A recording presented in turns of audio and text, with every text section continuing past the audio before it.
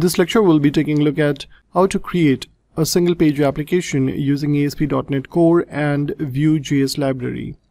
Now as we know that uh, Visual Studio 2019 does not provide a built-in template for creating single page applications using Vue, what we'll be doing over here is we'll be launching our command prompt and inside the code directory we will be first of all installing all the templates which is provided by the .NET framework. In order to do that we need to type in this command. And the command is .NET new then double dash install. And here we have microsoft.asp.NET core spa templates. Press enter. And over here once it has installed all those templates you will be able to see the one which we want to create. So here we have ASP.NET Core with Vue.js and the short name is Vue so in order to create a template what we'll be doing over here is we'll say .NET new and then vue. now this is going to create a default project so before that let's create a directory and now inside this directory we'll be creating the project.net new vue. press enter and here you can see the template ASP.NET Core with Vue.js was created successfully and it is running some post creation actions now and here you can see the directory is also sh being shown spare view. And if you click on this you can see all the files being generated right now using the command line.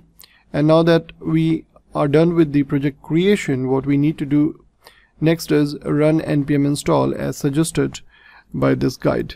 So here we'll be going and saying npm install press enter. Now once that's done you need to click on this.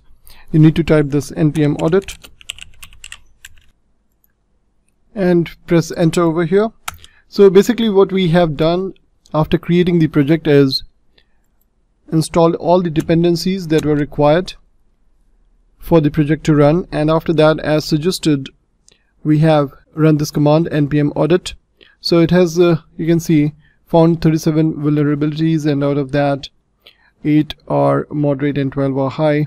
So we'll be just doing that npm audit fix and press enter now so audit basically gives you all the vulnerabilities that are there and then when you run this command npm audit fix it tries fixing out all these vulnerabilities automatically. And once that's done you need to close your command prompt and here inside the project directory you can just go ahead and launch this csproj application open it up in Visual Studio IDE and here you can see the structure is exactly the same what we reviewed in the previous lecture.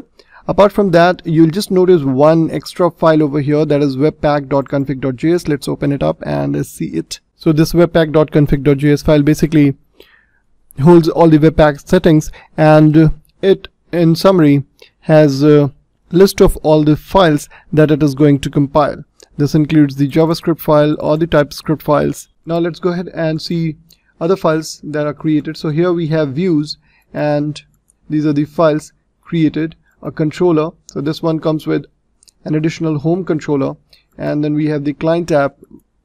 And here we have app and then counter fetch data home. So if you compare it from react you will see that these counter fetch data and home all are created inside a separate directory. Whereas in react if you look it was just inside a components directory. So components was having everything counter fetch data home but in Vue, this is all separated into different directories. Now let's go ahead and uh, run this one to see it in action. And there you go. You have this single page application template created. It has got this home. Then we have counter which is going to inc increment.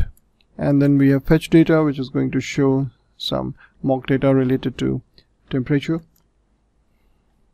And that is pretty much it about the single page application created using Vue.js library. In the next lecture onwards, we'll be making use of the React library to create our sample single page application.